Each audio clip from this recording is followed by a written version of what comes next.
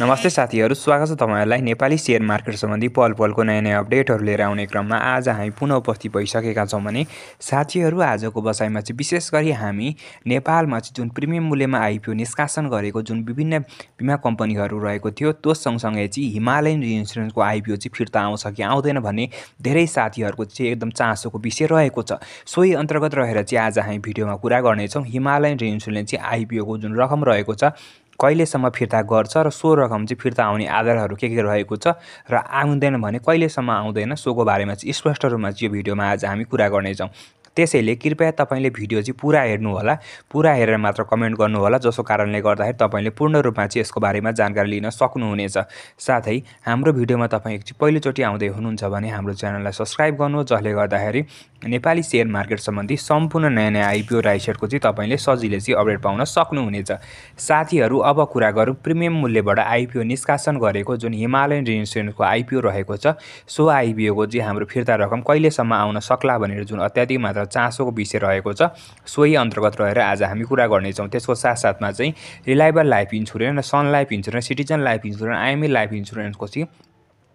Premium मूल्यको जुन पैसा रहेको थियो सो पैसा चाहिँ कहिलेसम्म फिर्ता हुन्छ सोको बारेमा नै कुरा गर्नेछौँ। र साथमा साथीहरू नेपाल बिमा प्राधिकरणले चाहिँ बिमा कम्पनीहरूलाई आइपिओ मार्फत उठेको पैसा चाहिँ प्रिमियम रकम चाहिँ जगडा कोषमा राख्न चाहिँ निर्देशन दिएको छ। प्रिमियममा आइपिओ जारी गरेका बिमा कम्पनीहरूले प्राधिकरणलाई बुधबार पत्र काट्दै प्रिमियम बापत सङ्कलित रकम चाहिँ जगडा कोषमा राख्न चाहिँ निर्देशन दिएको यसको अर्थ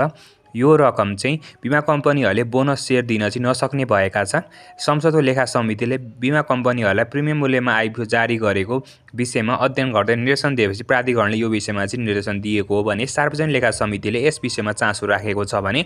हामीले नपुग पुँजी पुर्याउन प्रिमियममा आइपिओ निष्कासन गर्न दिएको त्यसमा मात्रै प्रिमियम खर्च पाइन्छ। बिमा प्राधिकरणका अध्यक्ष सूर्य प्रसाद सिलवाले चाहिँ अनलाइन खबरसम्म जानकारी दिएका थिए भने चाहिँ प्राधिकरणबाट चाहिँ अर्को निर्णय नहुँदासम्म चाहिँ प्रिमियम रकम चाहिँ जगडा कोषमा राख्न निर्देशन दिएको चाहिँ सिलवाले जनाएका छन् भने बाह्र पोस्टमा संसदको सार्वजनिक लेखा समितिले चाहिँ बिमा एनबीप्रति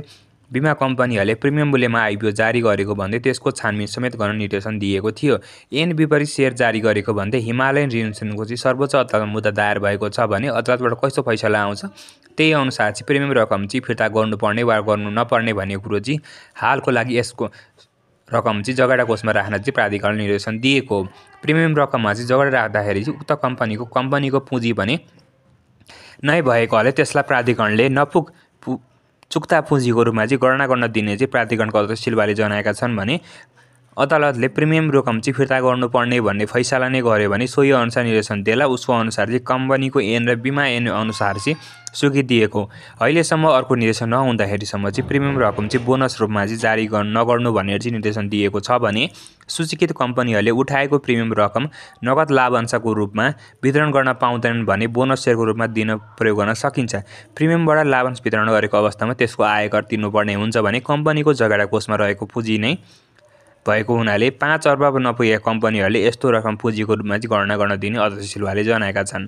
बिमा कम्पनीहरूले प्रिमियम रकमबाट चाहिँ बोनस वितरण गरेर आफ्नो चुक्ता पुँजी वृद्ध गर्ने योजना बनाएका थिए भने प्राधिकरणले जीवन बिमा पुँजीको चुक्ता पुँजी पाँच अर्ब र निर्जीवन बिमा कम्पनीको चुक्ता पुँजी दुई अर्ब पचास करोड रुपियाँ पनि व्यवस्था रहेको छ। नेपालको जीवन बिमा सङ्घको अध्यक्ष पोषक ढकालले पनि प्रिमियम रकमलाई जगडा कोषमा राख्ने निर्देशन आएको बताउँछन् भने बिमा कम्पनीले पहिले नै प्रिमियम रकम चाहिँ जगडा कोषमा राखेकोले त्यसमा थप केही गर्नु नपर्ने उनले जनाएका छन् भने IME Life Insurance Sun Life Insurance Liber life insurance citizen life इन्सुरेन्सले प्रिमियम रकममा चाहिँ सेयर जारी गरेको थियो भने त्यसै हिमालयन इन्सुरेन्सले पनि प्रिमियम आइपिओ जारी गरेको थियो। आइएमए लाइफ इन्सुरेन्सको आइपिओ जारी गरी एक एक अर्ब छप्पन्न करोड र रिलायबल नेपाल लाइफ इन्सुरेन्सले करिब एक अर्ब उनासी करोड र सन नेपाल लाइफ इन्सुरेन्सले करिब एक अर्ब सत्ताइस करोड र सिटिजन लाइफ इन्सुरेन्सले करिब एक अर्ब चौन्न करोड रुपियाँ चाहिँ प्रिमियम सङ्कलन गरेको थियो भने त्यसै गरी हिमालयन रिइन्सुरेन्सले करिब तिन अर्ब अठार करोड रुपियाँ चाहिँ प्रिमियम रकमबाट चाहिँ सङ्कलन गरेको थियो। यसमा चाहिँ तपाईँको के कुरा भनिएको छ भन्दाखेरि साथीहरू जहाँसम्म चाहिँ हिमालयन रिइन्सुरेन्सको चाहिँ हाम्रो धेरै साथीहरूले सोधिरहनुहुन्छ प्रिमियम रकमको पैसा चाहिँ फिर्ता आउँछ कि आउँदैन र कहिलेसम्म आउला भन्ने जुन तपाईँहरूको एकदम जिज्ञासाको विषय रहेको थियो सार्वजनिक लेखा समितिले चाहिँ प्रिमियम मूल्यमा चाहिँ बिमा कम्पनीहरूले चाहिँ आइपिओ निष्कासन गर्नु चाहिँ गलत भएको र नियम विपरीत भएको हुना त्यसलाई सच्याउन तत्कालको निम्ति सच्याउनको निम्ति चाहिँ नेपाल बिमा प्राधिकरणलाई निर्देशन दिएको थियो। सो निर्देशन अनुसार चाहिँ नेपाल बिमा प्राधिकरणले चाहिँ के भनेको छ भन्दाखेरि तत्काल जुन हिमालयन रिइन्सुरेन्सले आइपिओमा मूल्य निष्कासन गरेको जुन पैसा रहेको छ तिन अर्ब अठार करोड रुपियाँ र त्यस्तै यसभन्दा अगाडि करिब चार कम्पनी बिमा कम्पनीहरूले चाहिँ प्रिमियम मूल्यमा आइपिओ निष्कासन गरेको थियो। सो रकम चाहिँ तत्कालको निम्ति चाहिँ यस कम्पनीहरूलाई चाहिँ आफ्नो जगेडा कोषमा अथवा रिजर्भ फन्डमा चाहिँ राख्न निर्देशन दिएको छ जसको कारणले गर्दाखेरि सो कम्पनीको पैसा चाहिँ तत्कालको रूपमा चाहिँ उनीहरूले बोनस वितरण गर्न पाउँदैनन्। सो पैसा चाहिँ अब कहिले फिर्ता हुन्छ जुन एकदम चासोको विषय रहेको छ सोमा चाहिँ हिमालयन रिइन्सुरेन्सको कम्पनी चाहिँ चाहिँ पुस बाइस गते चाहिँ यसको मुद्दा परेको छ। सो मुद्दाको चाहिँ पुस बाइस गते चाहिँ पेसी रहेको छ। सो पेसीमा चाहिँ अदालतले के फैसला गर्छ? सोही निर्णय बमोजिम चाहिँ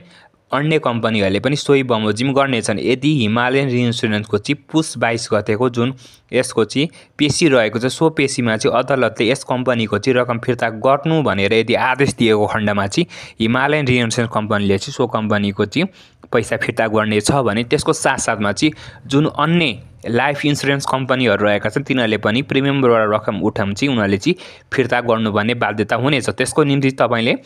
पुस बाइस गतेको चाहिँ के निर्देशन आउँछ त्यसलाई कुर्नुपर्ने हुन्छ कहिले आउँछ भन्ने जुन कुरा रहेको छ त्यसको निम्ति चाहिँ तपाईँले पुस बाइस गतेसम्म चाहिँ यस कम्पनीहरूको चाहिँ फिर्ता हुने नहुने चाहिँ पुस बाइस गते जुन अदालतको फैसला हुनेछ फैसलाले निर्णय गर्नेछ हिमालयन रिइन्सुरेन्स मुद्दा परेको छ र रेट दायर गर्ने व्यक्तिहरूले चाहिँ प्रिमियममा निष्कासन गरेको आइपिओ चाहिँ गैर नियम विपरीत भएको र सो लगानीकर्ताहरूले आवेदन दिएको रकम चाहिँ फिर्ता हुनुपर्ने भनेको जुन